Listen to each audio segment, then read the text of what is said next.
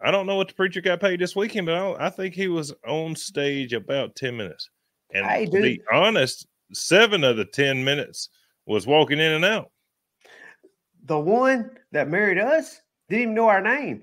It's like, and now I present Mr. and Miss Malone. I was like, Mason. No. He goes, Mason? No. He looked at his wife like, Mason? Really? No like, way. Yeah, yeah, I swear.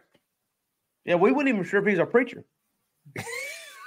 Do you, yeah. Is that made up or is that for real? That's for real. Yeah, we Oh eloped. my God.